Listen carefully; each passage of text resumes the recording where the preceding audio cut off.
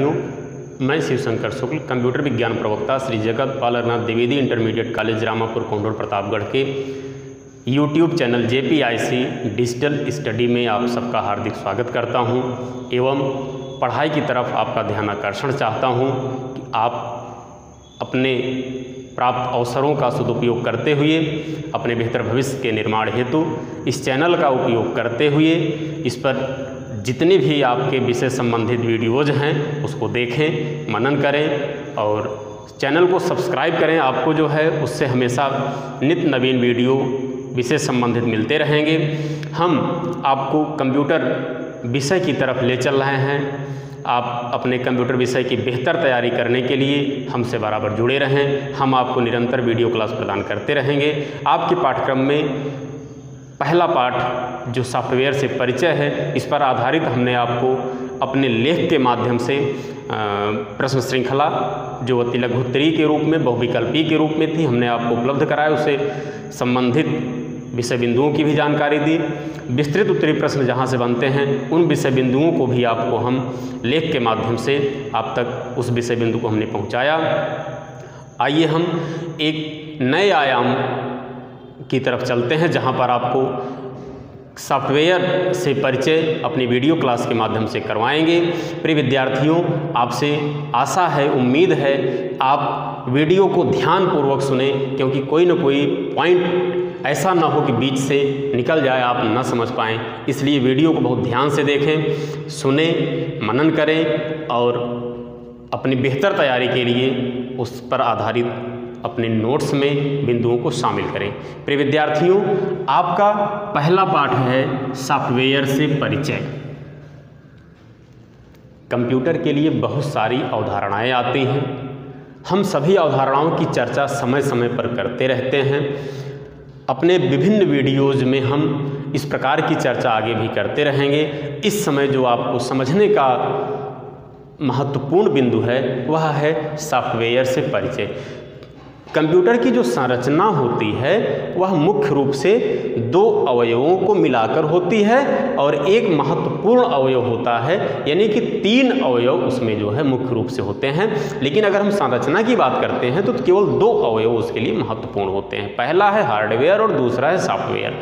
इस पाठ में हमें हार्डवेयर से केवल जानकारी थोड़ा सा प्राप्त करना है, लेकिन सॉफ्टवेयर पर पूरी जानकारी प्राप्त करना है।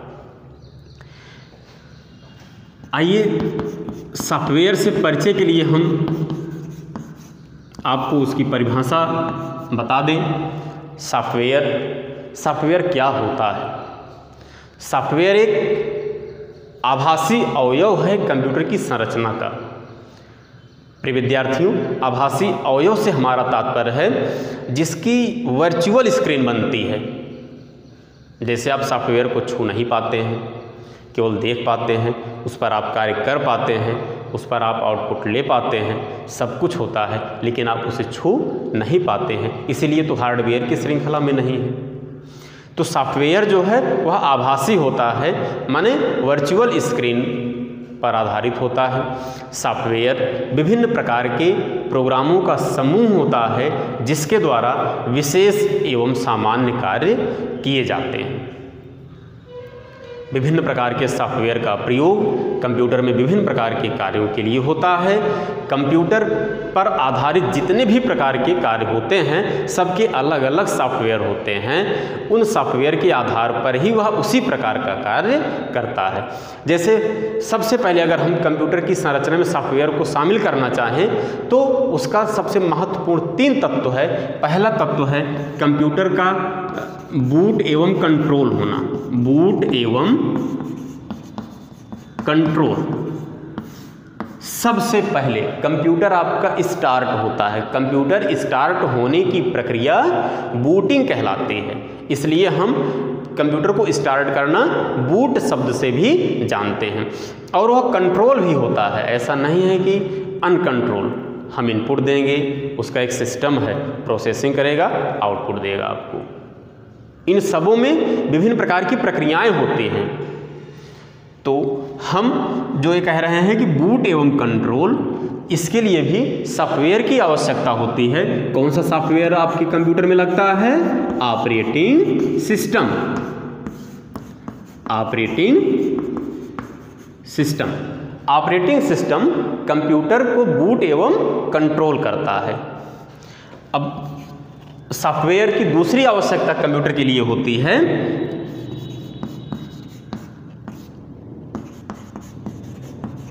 कार्यान्वयन। जब हमारा कंप्यूटर एक्टिव मोड में हो जाता है तब वो किसी न किसी कार्य को करता है। यानी कि वह कार्यान्वयन की स्थिति में होता है, क्योंकि प्रयोगकर्ता को उस पर निरंतर कार्य करने की आवश्यकता होती है, इसलिए उसको सॉफ्टवेयर की आवश्यकता होती है। तो जो कार्य करने से संबंधित सॉफ्टवेयर हैं, वह होते हैं अप्लीकेशन सॉफ्टवेयर अप्लीकेशन सॉफ्टवेयर के द्वारा हम कंप्यूटर पर विभिन्न प्रकार के कार्य करते हैं। प्रिय विद्यार्थियों, आपको बता देना प्रासंगिक होगा कि एक सॉफ्टवेयर से सब प्रकार के कार्य नहीं किए जा सकते हैं। हम अलग अलग सॉफ्टवेयर से विभिन्न प्रकार के कार्य करते हैं। जैसे नोट पैड पर हम केवल लिखने का कार्य करते हैं। एम एस वर्ड में हम वर्ड प्रोसेसिंग का कार्य करते हैं, जैसे टाइपिंग एडिटिंग फॉर्मेटिंग और प्रिंटिंग एडाप फोटोशॉप पर हम फ़ोटो बनाने का कार्य करते हैं। तो हम यह देख रहे हैं कि जितने सॉफ्टवेयर का हम प्रयोग कर रहे हैं, उनसे अलग अलग प्रकार के विशेष कार्य हो रहे हैं। अब कंप्यूटर पर जो सॉफ्टवेयर की तीसरी आवश्यकता होती है, सुरक्षा की आवश्यकता होती है।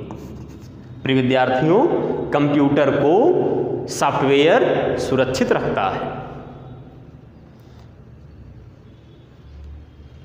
उसके बारगेनिंग की बात नहीं मैं कर रहा हूँ। जो आप फ़ाइल उसमें सुरक्षित किए हो, वह उसको सुरक्षित करता है। क्योंकि प्रत्येक फ़ाइल जो हम क्लिक करते हैं, खुल जाती है, उसके पीछे का कारण होता है कि उसमें एग्जीक्यूशन कोड होता है। वायरस क्या करता है? इसी एग्जीक्यूशन कोड को अटैक करके नष्ट कर देता है। तो जब हम क्लिक करते हैं तो फ़ाइल खुलेगी नहीं तो हम क्या कहते हैं? सामान्य भाषा में इसमें वायरस आ गया है। वायरस आने का सबसे मुख्य लक्षण क्या है? आपकी फ़ाइल का एग्जीक्यूशन कोड डिलीट कर देगा, नष्ट कर देगा।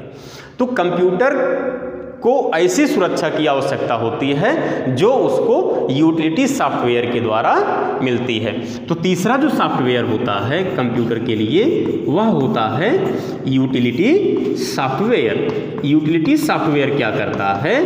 कंप्यूटर में जो सुरक्षित फ़ाइल हैं, जो कंप्यूटर में इंस्टॉल्ड सॉफ्टवेयर हैं, वह उन सबको सुरक्षित करता है।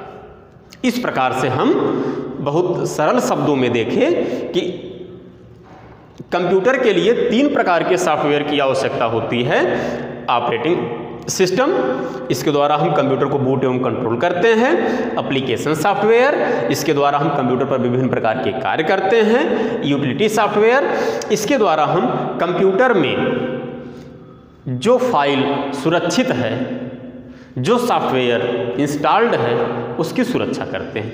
प्रिय विद्यार्थियों, आपका जो पहला पाठ है, वह जो है अप्लीकेशन सॉफ्टवेयर से संबंधित है। आइए हम अप्लीकेशन सॉफ्टवेयर की चर्चा करें। Application software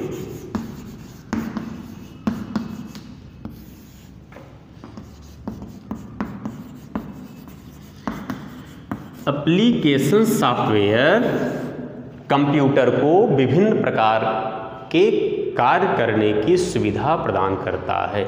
हम जिस तरीके से यह कहते हैं, कंप्यूटर बहुत कुछ कर सकता है, लेकिन बिना प्रयोगकर्ता के कुछ नहीं कर सकता। तो वहीं पर हम दूसरी लाइन में यह भी कह सकते हैं कि प्रयोगकर्ता बहुत कुछ कर सकता है, लेकिन बिना सॉफ्टवेयर के कंप्यूटर पर कुछ नहीं कर सकता है। सॉफ्टवेयर नहीं होगा तो कंप्यूटर को बूट नहीं करा सकता है। सॉफ्टवेयर नहीं होगा तो कंप्यूटर पर कार्य नहीं कर सकता है। सॉफ्टवेयर नहीं होगा तो कंप्यूटर में सुरक्षित जो फाइलें हैं, उसकी सुरक्षा नहीं कर सकता है। तो हम इस प्रकार से क्या देख रहे हैं? कंप्यूटर की संरचना को केवल वो देख सकता है, लेकिन कुछ कार्य नहीं कर सकता है। इसलिए एप्लीकेशन सॉफ्टवेयर की जो आवश्यकता होती है, वह जो है कंप्यूटर पर विभिन्न प्रकार से कार्य करने की आवश्यकता होती है। हम जो एप्लीकेशन सॉफ्टवेयर होते हैं, यह दो प्रकार के होते हैं। एक होता है सामान्य उद्देश्य।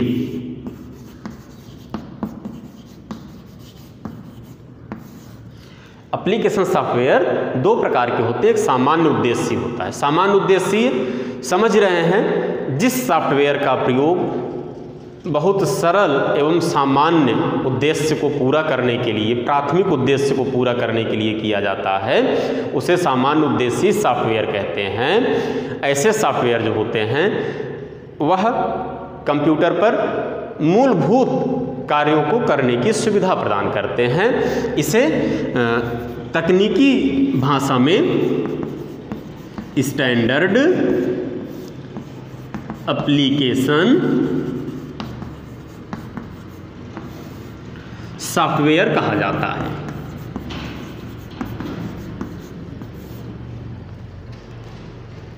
स्टैंडर्ड एप्लीकेशन सॉफ्टवेयर अर्थात ऐसे सॉफ्टवेयर जो सभी प्रयोगकर्ता की आवश्यकता को एक विशिष्ट विशेषता के आधार पर पूर्ण करते हैं, उन्हें स्टैंडर्ड एप्लीकेशन सॉफ्टवेयर कहा जाता है।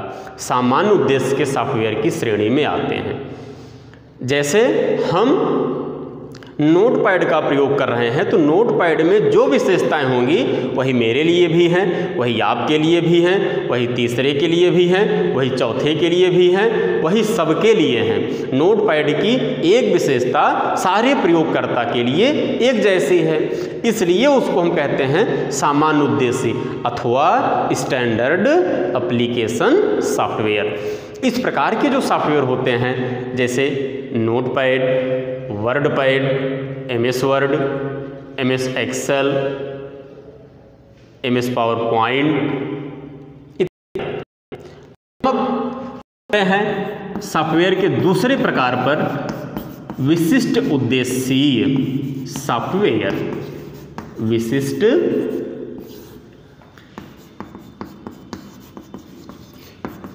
उद्देश्य सॉफ्टवेयर। इस प्रकार की जो सॉफ्टवेयर होते हैं, वह प्रयोगकर्ता की विशिष्ट आवश्यकता के अनुसार निर्मित किए जाते हैं। हमारी आवश्यकता है, उसके आधार पर सॉफ्टवेयर का निर्माण होगा। सामान्य विशेषता के आधार पर नहीं, जो मेरी आवश्यकता, व्यक्तिगत जो मेरी आवश्यकता है, उसके आधार पर। इसे तकनीकी भाषा में कस्टमाइज्ड कस्टमाइज्ड एप्लीकेशन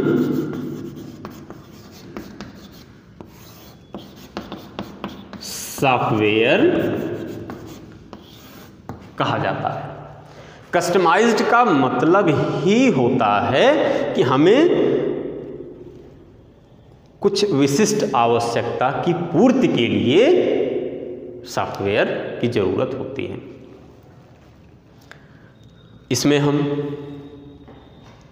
किसी बैंक के लिए निर्मित सॉफ्टवेयर, किसी कंपनी के लिए निर्मित सॉफ्टवेयर, किसी बीमा कंपनी के लिए निर्मित सॉफ्टवेयर, सरकार के लिए निर्मित सॉफ्टवेयर, संस्थान के लिए निर्मित सॉफ्टवेयर, ये सब सॉफ्टवेयर जो हैं कस्टमाइज्ड एप्लीकेशन सॉफ्टवेयर अथवा विशिष्ट उद्देश्य सॉफ्टवेयर की श्रेणी में आते हैं। इसमें क्या है? सभी बैंकों की अलग अलग आवश्यकताएँ हैं। सभी बैंकों का अलग अलग सॉफ्टवेयर है।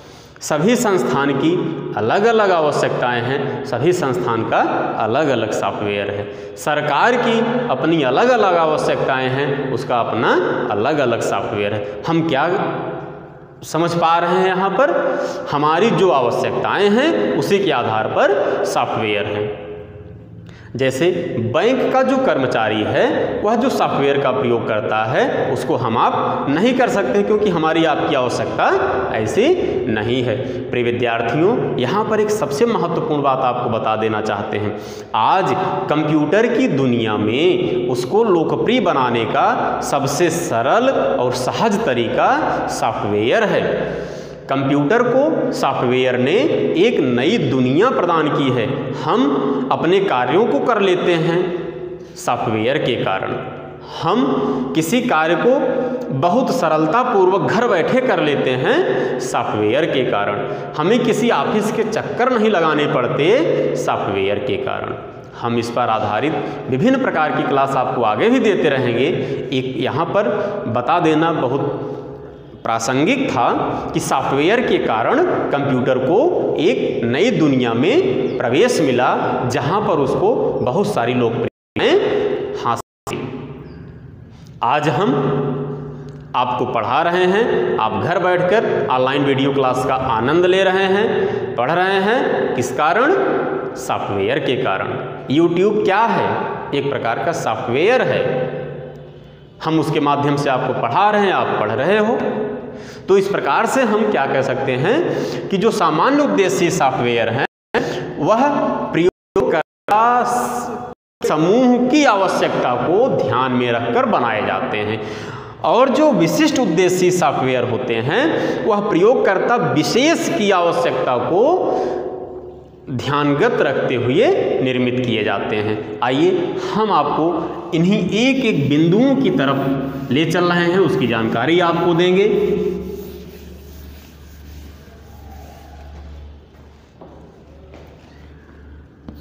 जो स्टैंडर्ड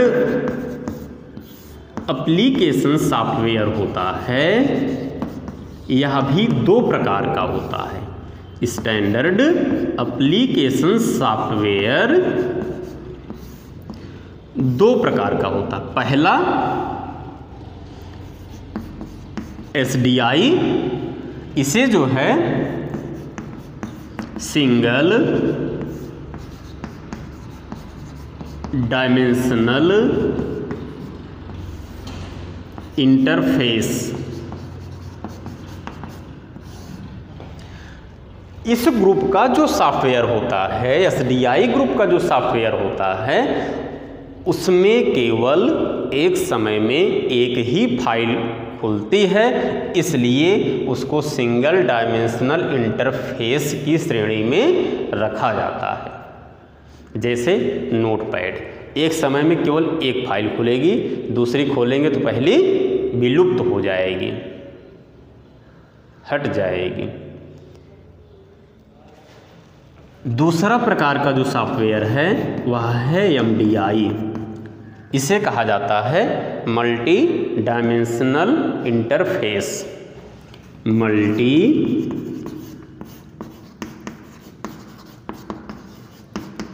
dimensional interface. जो एमडीआई ग्रुप का सॉफ्टवेयर होता है, इसमें एक साथ विभिन्न प्रकार की फ़ाइल को हम खोल सकते हैं। इसलिए इसे एमडीआई ग्रुप का सॉफ्टवेयर कहा जाता है। एमडीआई ग्रुप के सॉफ्टवेयर में जितने भी सॉफ्टवेयर होते हैं, उसमें एक से अधिक फ़ाइल हम खोल सकते हैं। जैसे माइक्रोसॉफ्ट वर्ड एक से अधिक फ़ाइल खोल सकते हैं। एडाप फोटोशॉप एक से अधिक फ़ाइल खोल सकते हैं। माइक्रोसॉफ्ट एक्सेल एक से अधिक फ़ाइल खोल सकते हैं।